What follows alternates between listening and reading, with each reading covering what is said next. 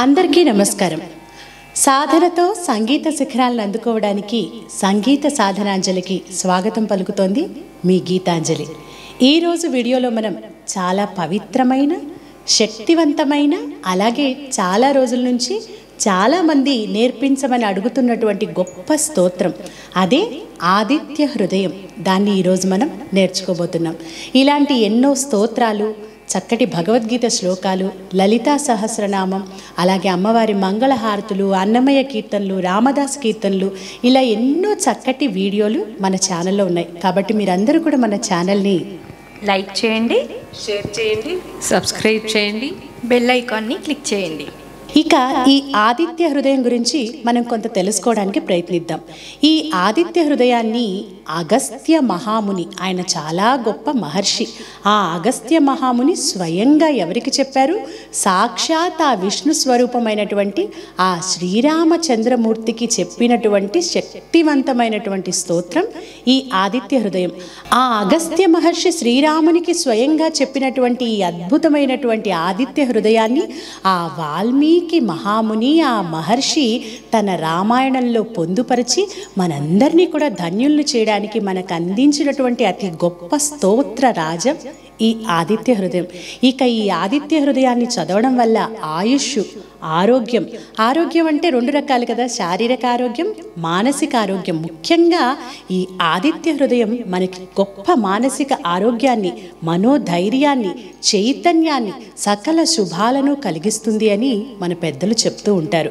ఇక ఆ సూర్య భగవానుడు అంటే మనకు ప్రత్యక్ష దైవం అంటే కనిపించే దైవం.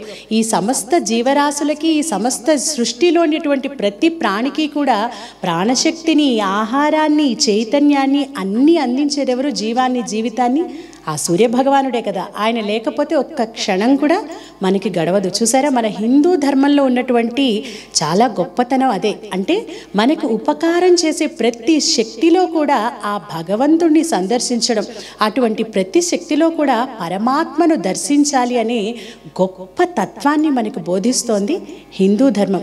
అందుకే మనం పంచభూతాలని అంటే గాలి నీరు నిప్పు ఆకాశం వీటన్నిటిని కూడా మనం పూజిస్తూ ఉంటాం కదా. అంత గొప్ప ధర్మం హిందూ ధర్మం. అందులో పుట్టడం మనందరం చేసుకున్నటువంటి గొప్ప అదృష్టం. అయితే నేను ఒక చోట వినడం జరిగింది. సామవేద షణ్ముఖ శర్మ గారు ఒక చోట చెప్తూ చాలామంది నాకు దేవుడు కనిపించడం లేదు దేవుడు కనిపించడం లేదు అంటూ ఉంటారు కదా. కాబట్టి అక్కడ లోపం దేవుడు కనిపించకపోవడం కాదు. ఆ కనిపిస్తున్న దాంట్లో దేవుణ్ణి చూడలేకపోవడమే గొప్ప లోపం. ఇక భగవంతుడు ఎక్కడున్నాడు భగవంతుడు ఎక్కడ ఉన్నాడు అని చాలామంది ప్రశ్నిస్తూ ఉంటారు కదా? అయితే ఆ భగవంతుడు ఎక్కడ ఉన్నాడు అని నువ్వు వేస్తున్నటువంటి ఆ ప్రశ్న వేయడానికి నీకు ఉన్నటువంటి శక్తిలోనే ఆ భగవంతుడు ఉన్నాడు. నీకు ఆ ప్రశ్నించే శక్తినిచ్చింది కూడా భగవంతుడే. అంటే మన చుట్టూ ఉన్న ప్రతి ప్రాణిలో ప్రతి వస్తువులో మనకు ఉపయోగపడే ప్రతి శక్తిలో అన్ని చోట్ల కూడా అణువు అణువులో కూడా ఆ పరమాత్మ నిండి ఉన్నాడు నిబిడీకృతమై ఉన్నాడు. ఆ పరమాత్మని చూడడానికి ఆయన తెలుసుకోవడానికి ఆయన్ని మనం గమనించడానికి కావలసిన సాధనే ఈ స్తోత్రాలు. పెద్దవాళ్ళు మనకు అందించినటువంటి అనేక చక్కటి ఈ కావ్యాలు వేదాలు పురాణాలు ఇతిహాసాలు వీటన్నిటినీ మనం చదువుకుంటూ ఉంటే ఆ పరమాత్మ మనకు కనిపిస్తాడు అని ఖచ్చితంగా చెప్పుకోవచ్చు. ఇక ఆదిత్య హృదయం ఈ స్తోత్రానికి ఈ పేరుకి అర్థమేమిటో తెలుసుకోవడానికి కొద్దిగా ప్రయత్నిద్దాం. ఆదిత్యుడు అంటే ఆ సూర్య భగవానుడు ఆదిత్య హృదయం అంటే ఆయన హృదయాన్ని ఆవిష్కరిస్తూ ఆయన్ని ప్రార్థిస్తూ ఆయన హృదయాన్ని ఆనందింపచేసే విధంగా చేయబడిన స్తోత్రమే ఈ ఆదిత్య హృదయం చెప్తూ ఉంటారు. అయితే దీనికి ఇంకొక అర్థాన్ని కూడా చెప్పుకోవచ్చు. అదితి పుత్రుడు ఆదిత్యుడు. మనకు తెలుసు కదా దితి అదితి. అదితి పుత్రుడు ఆదిత్యుడు. దితి అంటే దైన్యం నైరాశ్యం విరక్తి అంటే డిప్రెషన్ అంటాం కదా మనం. ఈ లక్షణాలన్నింటినీ దితి అంటారనమాట అదితి అంటే ఎవరు? ఆవిడ ఈ లక్షణాలన్నిటికీ ఆపోజిట్గా ఉండేది. అంటే చైతన్యం ఉత్సాహం శక్తి ఇవన్నీ కలిగి ఉండేది అదితి. ఆ అదితి పుత్రుడు ఆదిత్యుడు. అంటే ఈ ఆదిత్యుడిని మనం ప్రార్థిస్తే ఈ డిప్రెషన్ లాంటివి మానసికంగా కృంగుబాటు ఇవన్నీ పటాపంచలైపోతాయని మనకి ఈ పేరులోనే చెప్పడం జరిగింది. ఇక శ్రీమద్ రామాయణంలో ఇది ఎక్కడ చెప్పబడింది ఎక్కడ ఉంది అనే విషయాన్ని కూడా తెలుసుకుంటే శ్రీ వాల్మీకి రచించినటువంటి శ్రీమద్ రామాయణంలో యుద్ధకాండలో నూట ఐదవ సర్గలో రామ రావణుల భీకర యుద్ధ పోరాటంలో ఆ యుద్ధ భూమిలో అగస్త్యముని శ్రీరామచంద్రుడికి చెప్పినటువంటి స్తోత్రం ఈ ఆదిత్య హృదయం. ఈ మొత్తం రామాయణంలో ఇరవై నాలుగు వేల శ్లోకాలున్నా కూడా ఎక్కడా కూడా ఏ దైవాన్ని గురించి ప్రస్తావించలేదు. కేవలం ఈ ఆదిత్య హృదయంలో సూర్య భగవాను గురించి మాత్రమే కీర్తించడం ప్రస్తావించడం జరిగింది. ఇక్కడ యుద్ధ భూమి అనగానే మనకి వెంటనే గుర్తుకు రావాలి. ఎందుకంటే మనం ఇదివరకు భగవద్గీత మొదటి అధ్యాయం కూడా చదువుకున్నాం కదా. అక్కడ కూడా యుద్ధ భూమిలో అర్జునుడికి ఆ శ్రీకృష్ణ పరమాత్మ ఆ భగవద్గీత మహోత్కృష్టమైనటువంటి కర్తవ్య బోధనా గ్రంథాన్ని బోధించడం జరిగింది. అంటే ఇక్కడ మనం ఒక విషయాన్ని గమనించాలి. మన జీవితం కూడా ఒక నిరంతర యుద్ధం. ఈ యుద్ధ భూమిలో మనం నిరంతరం అనేక విషయాల కోసం అనేక కార్యక్రమాల కోసం ప్రతి దాంట్లో విజయాన్ని సాధించడం కోసం పోరాటాన్ని యుద్ధాన్ని చేస్తూనే ఉంటాం కదా.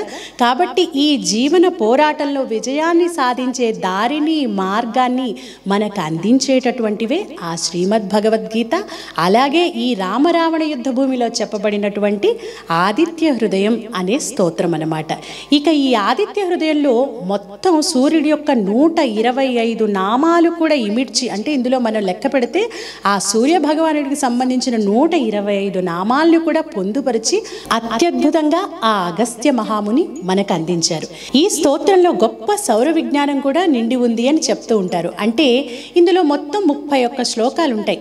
మనం మొదటి శ్లోకాన్ని మొదలుపెట్టి ముప్పై ఒకటో శ్లోకం పూర్తి చేసేటప్పటికి అంటే గడగడ అప్పచెప్పినట్లు చదివేయకుండా చక్కగా ఒక క్రమ పద్ధతిలో గనక ఆ ముప్పై శ్లోకాలని చదువుతూ ఉంటే ముప్పై ఒకటిని కూడా ఆ మొదట సూర్యుడు ఉదయించేటప్పుడు మొదటి వెలుగు రేఖ పడడం దగ్గర నుంచి ఆయనలా ప్రవర్ధమానమై ప్రవర్ధమానమై దేదీప్యమానంగా వెలుగుతూ వెలుగుతూ అలా సూర్యుడు పూర్తిగా ఉదయించే సమయానికి ఈ వ్యవధిలో ఈ ముప్పై ఒక్క శ్లోకాలు పూర్తవుతాయట. అంటే సక్రమంగా చదివితే ఆ సూర్యుడి మొదటి వెలుగు రేఖ పడడం దగ్గర నుంచి ఆ సూర్యుడు పూర్తిగా ఉదయించే వరకు ఎంత సమయం పడుతుందో అంత వ్యవధిలో ఈ ముప్పై ఒక్క శ్లోకాలు కూడా పూర్తయ్యేట్లు అంత గొప్పటి విజ్ఞానాన్ని అంత చక్కటి ఆ మ్యాథమెటిక్కి సంబంధించినటువంటి గొప్ప విజ్ఞానాన్ని కూడా ఇందులో నింపి ఆనాడే అగస్త్య మహాముని మనకు అందించడం జరిగింది.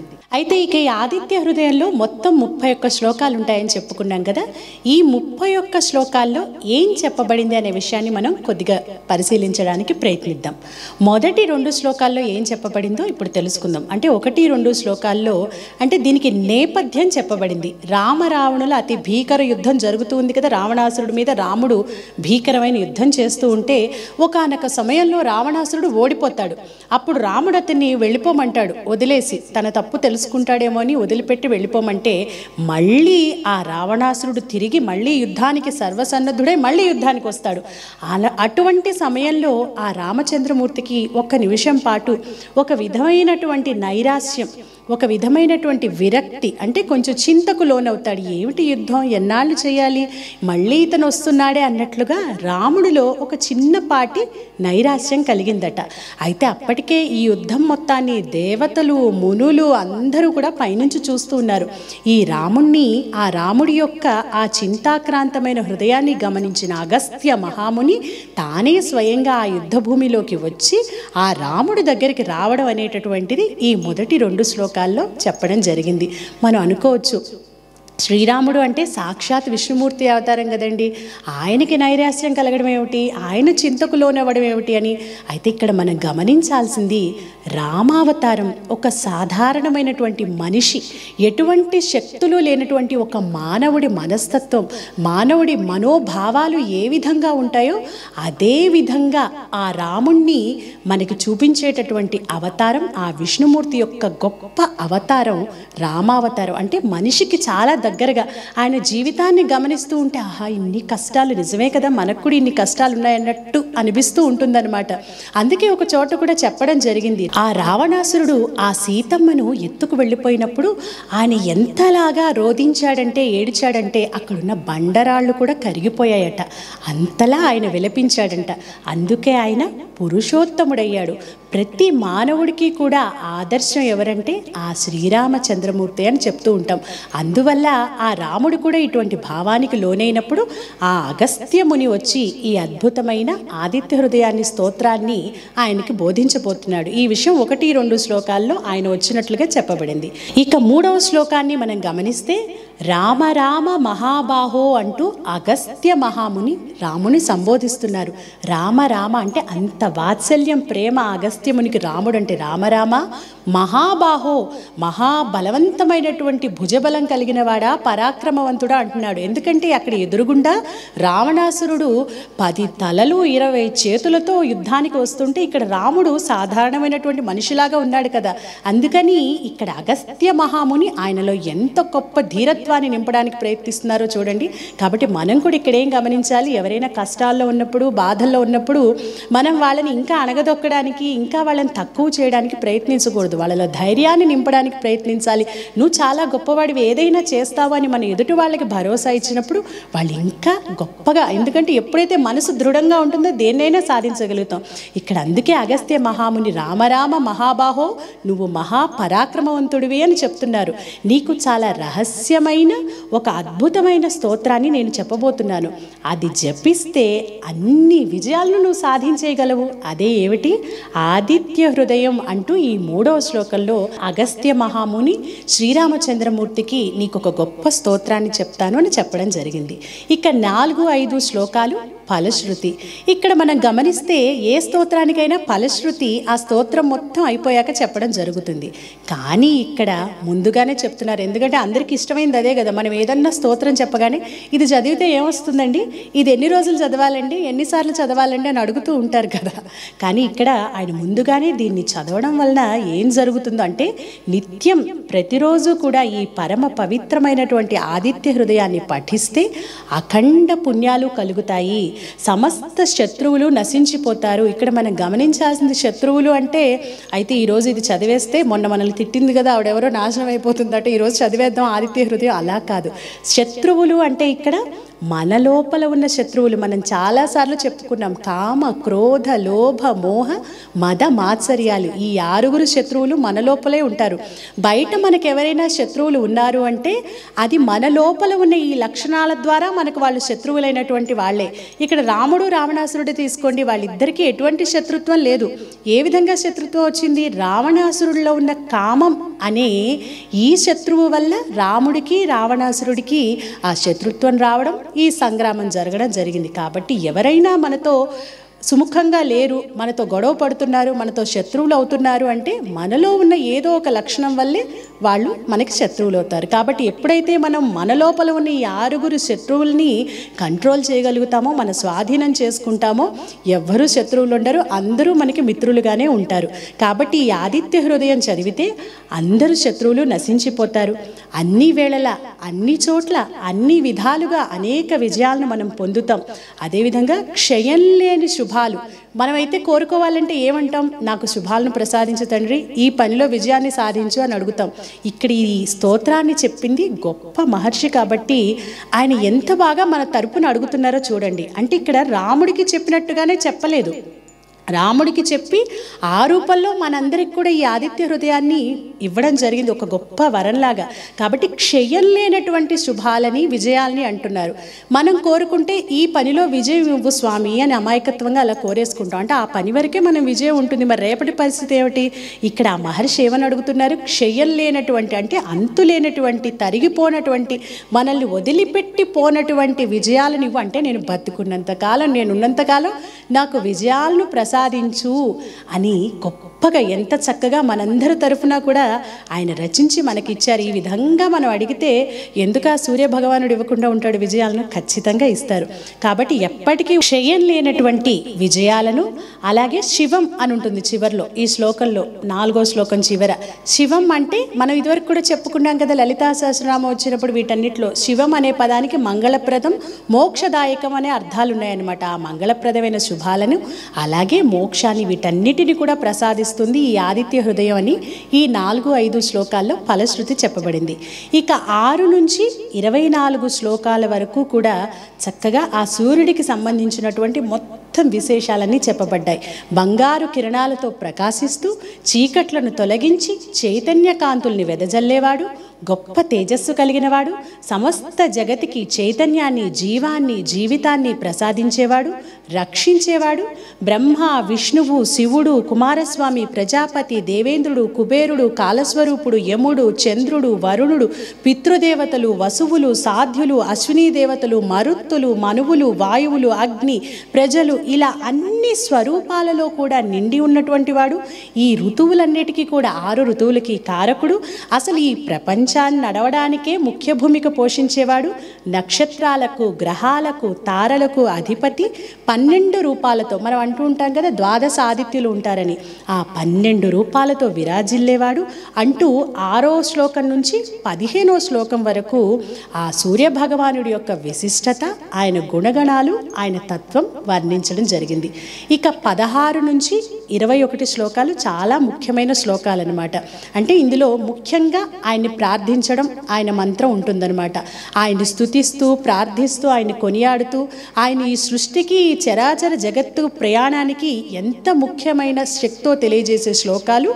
ఇవన్నమాట. అదితిపుత్ర రుద్రస్వరూప విజయప్రదాత చైతన్య ప్రదాత ఓ భాస్కర ఓ సూర్య భగవానుడా నీకు నమస్కారం అంటూ ఈ పదహారు నుంచి ఇరవై ఒకటో శ్లోకాల్లో ఇదంతా చెప్పడం జరిగింది. ఇక ఇరవై రెండు నుంచి ఇరవై నాలుగో శ్లోకం వరకు ఆ సూర్యనారాయణ మూర్తిని శ్లోక మంత్రాలు ఉంటాయి ఇక ఇరవై ఐదో శ్లోకంలో ఆపద సమయంలో కష్టకాలాల్లో దిక్కు దోచని స్థితిలో భయం కలిగినప్పుడు ఆ సూర్య భగవాను ధ్యానిస్తే అవన్నీ కూడా దూరం అయిపోతాయి అన్ని కష్టాలు బాధలు దుఃఖాలు భయాలు తొలగిపోతాయి అని చెప్పడం జరిగింది. ఇక ఇరవై ఆరో శ్లోకంలో అగస్త్యుడు శ్రీరామచంద్రమూర్తితో చెప్తున్నాడు ఏమని? నువ్వు ఏకాగ్రతతో చిత్తశుద్ధితో ఈ ఆదిత్య హృదయాన్ని పఠించు. ఇక్కడ కూడా గమనించారా? ఏకాగ్రతతో అంటున్నారు. అంటే మనం సాధారణంగా అందరం చేసే తప్పు ఏంటంటే చదవడము అంటే గబగబా గబగబా ఏదో వల్లె వేసేస్తూ ఉంటాం. అంటే అది తప్పని కాదు. ఇందులో శబ్దశక్తి ఉంటుంది. కేవలం చదవడం వల్ల కూడా మనకి ఎంతో శుభం కలుగుతుంది. కానీ దాన్ని చక్కగా ఉచ్చరిస్తూ మనం చదువుతూ ఉంటే ఇంకా భావాన్ని తెలుసుకోవడానికి కూడా. ఎప్పుడైతే మనం ఒకటికి ఐదు సార్లు చదువుతూ ఉంటామో ఆరోసారో ఏడోసారో మనకే అనిపిస్తుంది. దీని భావం ఏమిటో తెలుసుకుంటే బాగుంటుందేమో ఇన్నిసార్లు చదివేస్తున్నామని కాబట్టి ముందు పఠించడం అనేది ఫస్ట్ స్టెప్ చదువుకోవడం అనేది. తర్వాత ఆ ఉచ్చారణ దోషాలు లేకుండా చదవాలనుకోవడం రెండో స్టెప్ ఇక మూడో స్టెప్ మనం చదువుతున్న దానికి భావం ఏమిటి? అసలు ఇందులో ఏం చెప్పారు? అనే విషయాన్ని తెలుసుకోవడానికి ప్రయత్నించడం. కాబట్టి రాముడికి అగస్త్యుడు చెప్తున్నాడు నువ్వు ఏకాగ్రతతో దీన్ని పఠిస్తే ఆ రావణాసుడిని ఈ నిమిషంలోనే కాదు ఈ క్షణంలోనే నువ్వు మట్టు పెట్టగలవు అని ధైర్యాన్ని ఆశీర్వచనాన్ని అందించి ఈ ఇరవై ఏడవ శ్లోకంలో అగస్త్య మహాముని తన స్థానానికి వెళ్ళిపోతారనమాట ఇక చివరి ఇరవై ఎనిమిది ఇరవై తొమ్మిది ముప్పై ఈ మూడు శ్లోకాల్లో ఈ అగస్త్య మహర్షి మాటలు విన్నటువంటి శ్రీరామచంద్రమూర్తి ఆ మహా తేజస్సంపన్నుడు పురుషోత్తముడైనటువంటి ఆ శ్రీరామచంద్రుడు ఆయన మనసులో ఉన్నటువంటి చింతనంతని కూడా వదిలిపెట్టేశాడట. మూడు సార్లు ఆచమనం చేసి ఆ సూర్య భగవాను చూస్తూ ఈ ఆదిత్య హృదయాన్ని చాలా భక్తిపూర్వకంగా ఏకాగ్రతతో జపించి పఠించి రెట్టించిన ఉత్సాహంతో ధనుర్బాణాలు ధరించి కో పాణి అయి ఆ రాక్షసుడైనటువంటి రావణుణ్ణి వధించడానికి ఏ విధంగా అయినా వధించాలి అని ఒక కృత నిశ్చయంతో నిండైన మనసుతో యుద్ధ భూమిలోకి ఆ కథన రంగంలోకి అడుగుపెట్టాడట ఆ శ్రీరామచంద్రమూర్తి. ఈ చివరి ముప్పై ఒకటో శ్లోకం విషయానికి వస్తే ఇప్పటిదాకా జరుగుతుందంతా కూడా ఆ దేవతలందరితో కలిసి ఆ సూర్య భగవానుడు పైనుంచి చూస్తూ ఉన్నాడట. చూసి మనసంతా ఆనందంతో నిండిపోయి ఓ రామచంద్ర ఇక రావణుడు నశించడం తథ్యం. నీకు విజయం అవశ్యం. తప్పక నీకు విజయం లభిస్తుంది అంటూ ఆశీర్వదించాడట ఈ ముప్పై ఒకటో శ్లోకంలో. ఈ విధంగా ఈ ముప్పై ఒక్క శ్లోకాల ఆదిత్య హృదయంలో ఈ విషయాలన్నీ కూడా చెప్పబడ్డాయి. ఇక్కడ ఇది చాలా రహస్యనామాలని చెప్తూ ఉంటారు కదా. మనం చాలామంది వింటూ ఉంటాం. రహస్యనామం రహస్యనామం అంటే రహస్యంగా చెవిలో చెప్పాలేమో ఎవరికి తెలియకుండా చదవాలేమో అనుకుంటూ ఉంటారు. కాదు ఎక్కడ రహస్యనామం అని వచ్చినా అంటే అందులో మనకి పైకి కనిపించే భావం అంతా ఒకటి ఉంటుంది. దాని లోపల మన ఊహకు అందనటువంటి ఎన్నో నిగూఢార్థమైనటువంటి అంశాలు మంత్రబలం మంత్రశక్తి శబ్దశక్తి ఇవన్నీ కూడా నిండి ఉన్నటువంటి స్తోత్రాలని రహస్యనామ స్తోత్రాలు అంటారు. అందుకే లలితా సహస్రనామాన్ని కూడా మనం లలిత రహస్యనామ స్తోత్రం అంటారు. అలాగే ఆదిత్య హృదయం కూడా అంత గొప్ప రహస్యనామ స్తోత్రం అంత గొప్ప పదశక్తి శబ్దశక్తి అంటే మనం ఉచ్చరిస్తేనే చాలు. మనలో ఒక చైతన్యాన్ని మనలో ఒక ఉత్సాహాన్ని కలిగించి మనలో ఉన్నటువంటి మానసిక ధైర్యాన్ని రెట్టింపు చేసేటటువంటి చాలా గొప్ప మంత్రరాజం ఈ ఆదిత్య హృదయం స్తోత్రం. ఇక ఈరోజు ఈ ఆదిత్య హృదయం స్తోత్రాన్ని ఏ విధంగా ఉచ్చరిస్తూ చదవాలో నేర్చుకుందాం.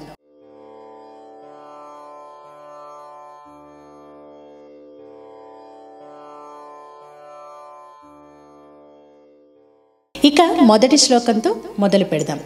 ततो युद्धपरिश्रान्तम् ततो युद्धपरिश्रान्तम् समरे चिन्तया स्थितम् समरे चिन्तया रावणं चाग्रतो दृष्ट्वा। रावणं चाग्रतो दृष्ट्वा। युद्धाय समुपस्थितम्। युद्धाय समुपस्थितम्। दैवतैश्च समागम्य। दैवतैश्च समागम्य।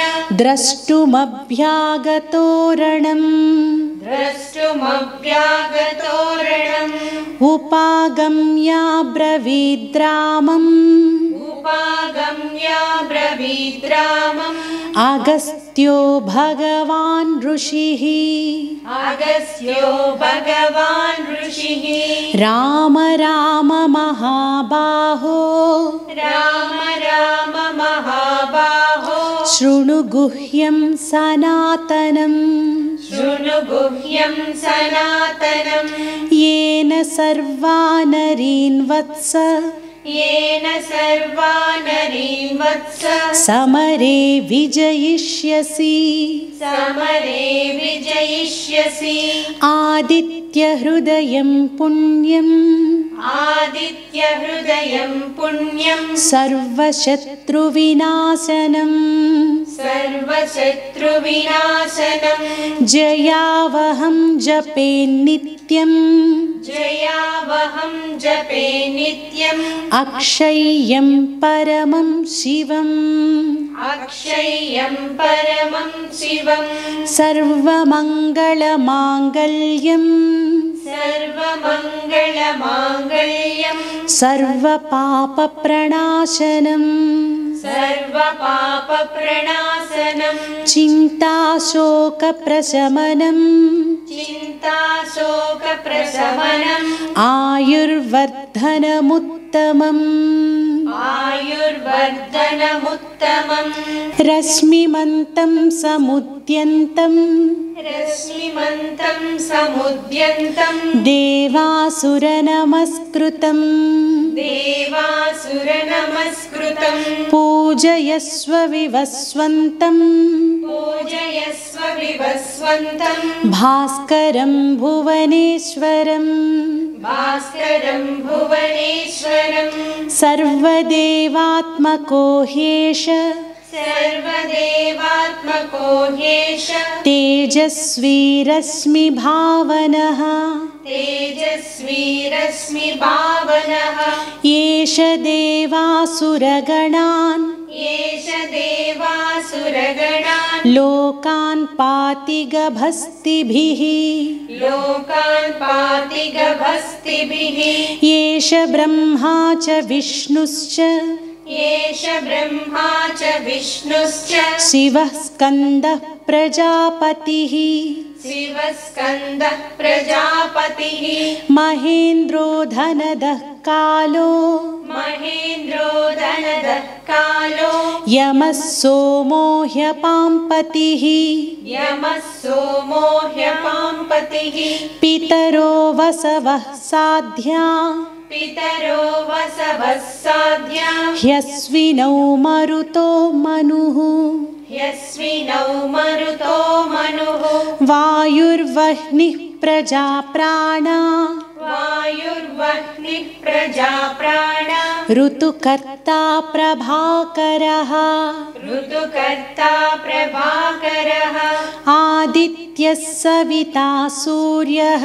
आदित्यः सविता सूर्यः। खगः पूषा गभस्तिमान् खगः पूषा सुवर्णसदृशो भानुः सुवर्णसदृशो भानुः हिरण्यरेता दिवाकरः हिरण्यरेता दिवाकरः हरिदस्वः सहस्रार्चिः हरिदस्वः सहस्राक्षिः सप्त सप्तिर्मरीचिमान्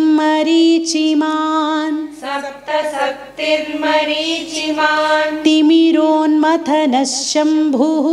तिमिरोन्मदनशम्भुः त्वष्टा मार्ताण्ड अंशुमान्। त्वष्टा मार्ताण्ड अंशुमान्। हिरण्यगर्भशिशिर। स्तपनो भास्करो रविः। सपनो भास्करो रविः। अग्निगर्भोदितेः पुत्रः। अग्निगर्भोदिते पुत्रः। शङ्खः शिशिरनाशनः। शङ्कः शिशिरनाशनः। व्योमनाथस्तमो भेदी। व्योमनाथस्तमो वेदी ऋग्यजुस्सामपारगः। ऋग्यजुस्सामपारगः। घनवृष्टिरपां मित्रो घनवृष्टिरपामित्रो। विन्ध्यवीथिप्लवङ्गमः। विन्ध्यवीधिप्लवङ्गमः आतपी मण्डली मृत्युः मण्डली मृत्युः। पिङ्गळः सर्वतापनः। पिङ्गळः सर्वतापनः। कविर्विश्वो महातेजा। कविर्विश्वो महातेज। रक्तः सर्वभवोद्भवः। रक्तः सर्वभवोद्भवः।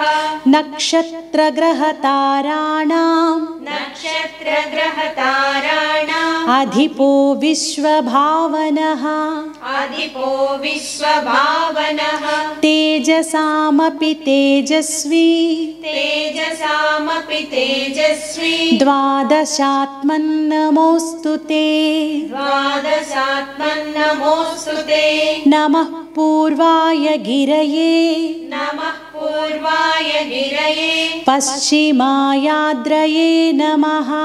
पश्चिमायाद्रये नमः। ज्योतिर्गणानां पतये। ज्योतिर्गणानां पतये। दिनाधिपतये नमः। दिनाधिपतये नमः। जयाय जय भद्राय जयाय जय भद्राय हर्यश्वाय नमो नमः। हर्यस्वाय नमो नमः। नमो नमः सहस्रांशो। नमो नमः सहस्रांशो। आदित्याय नमो नमः। आदित्याय नमो नमः। नम उग्राय वीराय नम उग्राय वीराय सारङ्गाय नमो नमः। सारङ्गाय नमो नमः। नमः पद्मप्रबोधाय। नमः पद्मप्रबोधाय। प्रचण्डाय नमो नमः। प्रचण्डाय नमो नमः। ब्रह्मेशानाच्युतेशाय ब्रह्मेशानाच्युतेशाय। सूर्यायादित्यवर्चसे। सूर्यायादित्यवर्चसे। भास्वते सर्वभक्षाय। भास्वते सर्वभक्षाय। रौद्राय वपुषे नमः। रौद्राय वपुषे नमः। तमोघ्नाय हिमघ्नाय तमोघ्नाय हिमघ्नाय शत्रुघ्नायामितात्मने। शत्रुघ्नायामितात्मने। कृतघ्नघ्नाय देवाय कृतघ्नघ्नाय देवाय ज्योतिषां पतये नमः। ज्योतिषां पतये नमः। तप्तचामीकराभाय। तप्तचामीकराभाय। हरये विश्वकर्मणे। हरये विश्वकर्मणे। नमस्तमोभिनिघ्नाय नमस्तमोभिनिघ्नाय रुचये लोकसाक्षिणे।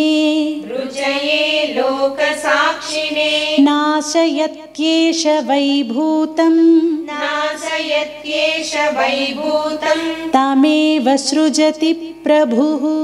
तमेव सृजति प्रभुः। पायत्येष तपत्येष।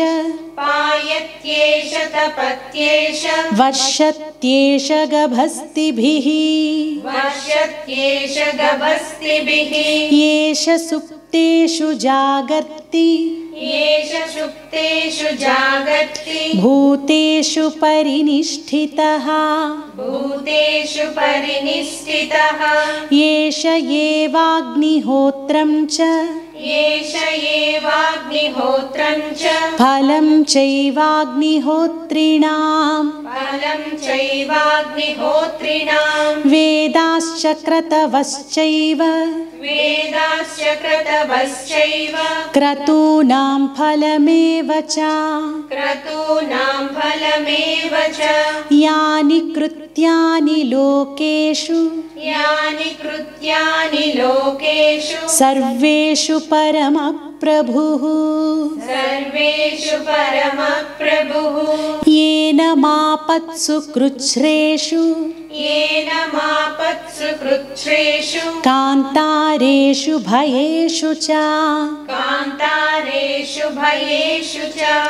कीर्तयन् पुरुषः कश्चित्। कीर्तयन् पुरुषः कश्चित्। नावसीदति राघवा। नावसीदति राघव।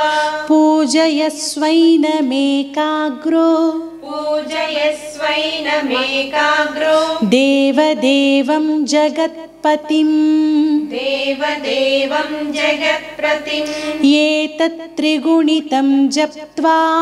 एतत्र गुणितं जप्त्वा। युद्धेषु विजयिष्यसि। युद्धेषु विजयिष्यसि। अस्मिन् क्षणे महाबाहो। अस्मिन् क्षणे महाबाहो। रावणं त्वं वधिष्यसि।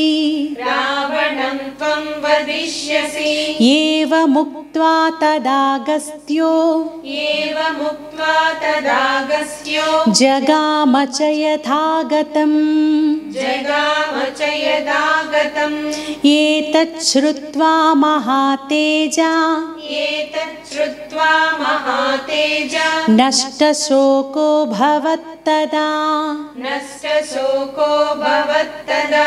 धारयामास सुप्रीतो। धारयामास सुप्रीतो। राघवः प्रयतात्मवान्। राघवः प्रयतात्मवान्। आदित्यं प्रेक्ष्य जप्त्वेदम्। आदित्यं प्रेक्ष्य जत्वेदम् परं हर्षमवाप्तवान्। परं हर्षमवाप्तवान्। त्रिराचम्य शुचिर्भूत्वा त्रिराचम्य शुचिर्भूत्वा धनुरादाय वीर्यवान्। धनुरादाय वीर्यवान्। रावणं प्रेक्ष्य हृष्टात्मा। रावणं प्रेक्ष्य हृष्टात्मा। जयार्धं समुपागमत्। जयार्धं समुपागमत्। सर्वयत्नेन महता सर्वयत्नेन महता। वधे तस्य वृतोऽभवत् वदे तस्य वृतो भवत्। अथरविरवदन् अथरविरवदन् निरीक्ष्य रामम्। निरीक्ष्य रामम्। मुदितमनाः परमम् मुदितमनाः परमम्। प्रहृष्यमाणः। प्रहृष्यमाणः। निशिचरपतिसंक्षयम् निशिचरपति संक्षयम् विदित्वा। विदित्वा। सुरगणमध्यगतो। सुरगणमध्यगतो। वचस्त्वरेति। वचस्त्वरेति। ఇది మొత్తం ముప్పై ఒక్క శ్లోకాల ఆదిత్య హృదయం. వింటుంటేనే ఆ నాదమే ఒక మనస్సుకి చెప్పలేని ధైర్యాన్ని కలిగిస్తున్నట్లుగా ఆనందాన్ని కలిగిస్తున్నట్లుగా ఉంటుంది. ఈ స్తోత్రంలోని ఆ పదాల కూర్పుని ఆ నడకని మనం గమనిస్తుంటే ఒక వేదం చదివినట్లుగా మనకు అనిపిస్తూ ఉంటుంది. అంటే ఆ నడక అంత గంభీరంగా అలా వింటుంటేనే మనలో ఉత్సాహాన్ని చైతన్యాన్ని కలిగించే విధంగా ఉంటుంది. జయాయ జయభద్రాయ హర్యశ్వాయ నమో నమ అలాగే నమ ఉగ్రాయ వీరాయ సారంగాయ నమో నమ. తమోఘ్నాయ హిమఘ్నాయ శత్రుఘ్నాయామితాత్మనే కృతజ్ఞఘ్నాయ దేవాయ జ్యోతిషాం పతయే నమ. చూసారు ఎంత అద్భుతంగా ఉన్నదో. పాయత్యేష తపత్యేష వర్షత్యేష గభస్తిభి ఇంతటి పదబంధాల్ని మనం అలా ఏకాగ్రతతో అంటే మనస్సుని దాని మీదే లగ్నం చేసి అలాగే మన నాలుకని కూడా వాక్కుని కూడా దాని మీద లగ్నం చేసి చదువుతుంటే ఇంతకు మించిన మెడిటేషన్ అసలు ఎక్కడుంటుంది అలాగే మనస్సుకు సంబంధించినటువంటి ఎటువంటి అనారోగ్యం ఉన్నా కూడా ఇది చదివితే టక్కున తగ్గిపోతుంది అని చెప్తూ ఉంటారనమాట ఇప్పుడు ఈ మొత్తం ముప్పై ఒక్క శ్లోకాల ఆదిత్య హృదయాన్ని మనొకసారి కలిపి పాడుకుందాం. తతో యుద్ధ పరిశ్రాంతం సమరే చింతయా స్థితం. రావణం జాగ్రతో దృష్ట్వా యుద్ధాయ సముపస్థితం. దైవతైశ్చ సమాగమ్య द्रष्टुमभ्यागतोरणम् उपागम्याब्रवीद्रामम् अगस्त्यो भगवान् ऋषिः राम राम महाबाहो शृणु गुह्यं सनातनम् येन सर्वा नरीन्वत्स समरे विजयिष्यसि।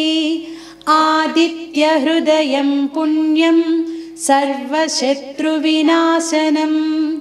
जयावहं जपे नित्यम् अक्षय्यं परमं शिवं सर्वमङ्गलमाङ्गल्यं सर्वपापप्रणाशनं चिन्ताशोकप्रशमनम् आयुर्वर्धनमुत्तमं रश्मिमन्तं समुद्यन्तं देवासुरनमस्कृतम्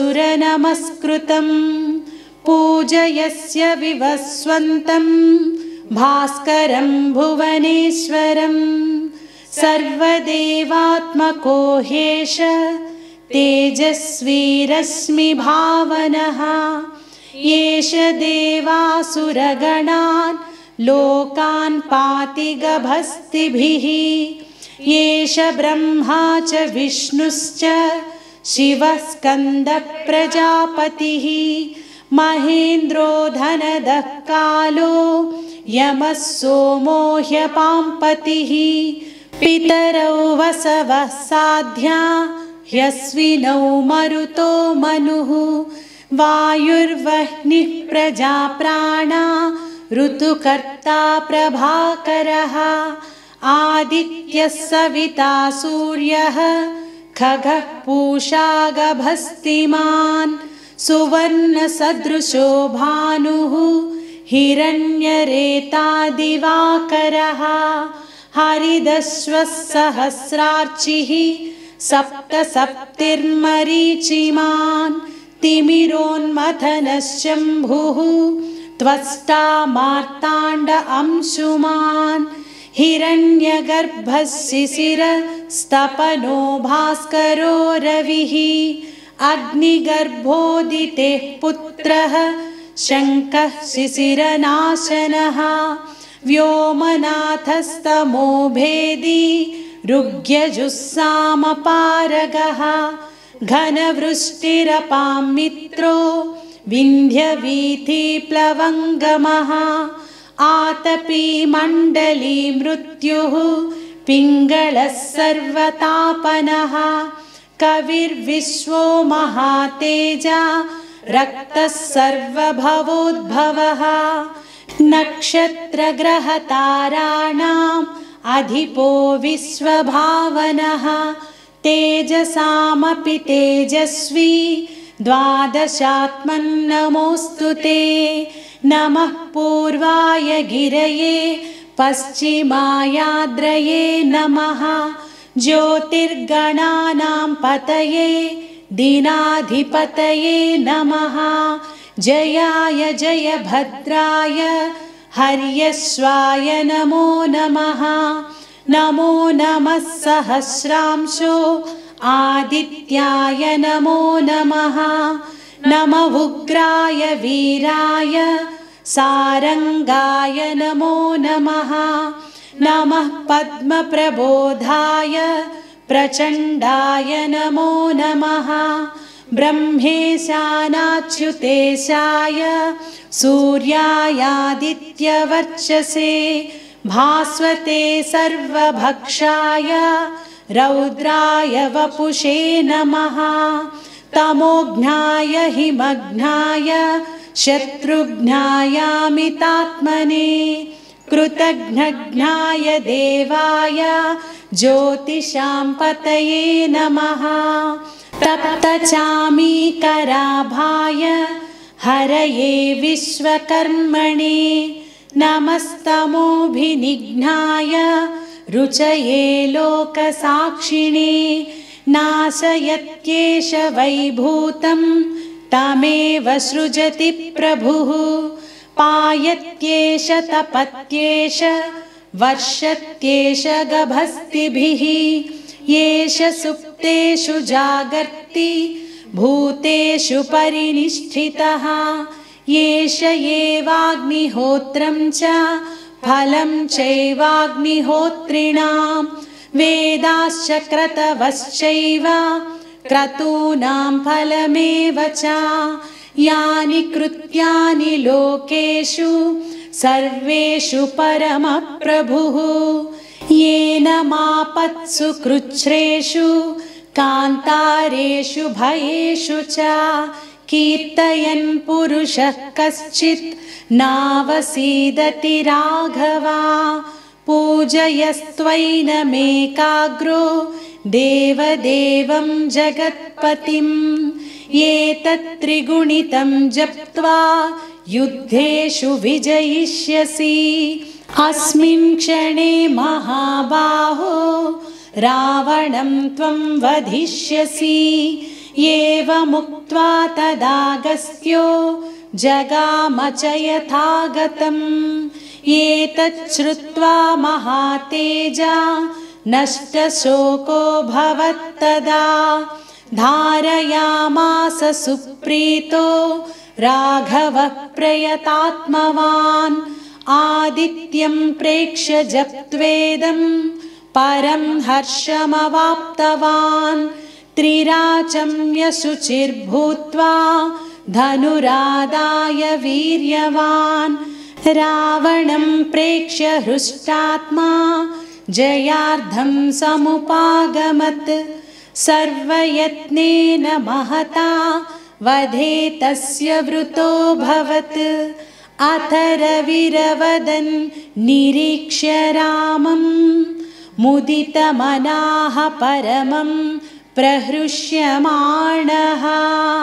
निशिचरपतिसंक्षयं विदित्वा सुरगणमध्यगतो వచస్త్వరేతి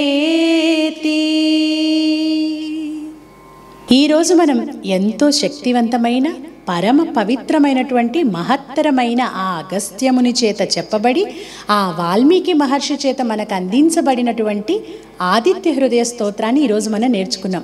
ప్రతిరోజు కూడా ఉదయాన్నే ఆ సూర్యదేవునికి నమస్కరించుకుంటూ ఈ ఆదిత్య హృదయాన్ని చదువుకుంటే కలిగే ఫలితాలు కలిగే శుభాలు మనకందే విజయాలు మాటల్లో చెప్పలేం. ఇది మామూలుగా చెప్తున్నది కాదు. చాలామంది వాళ్ళ అనుభవంలో చెప్తూ ఉంటారు.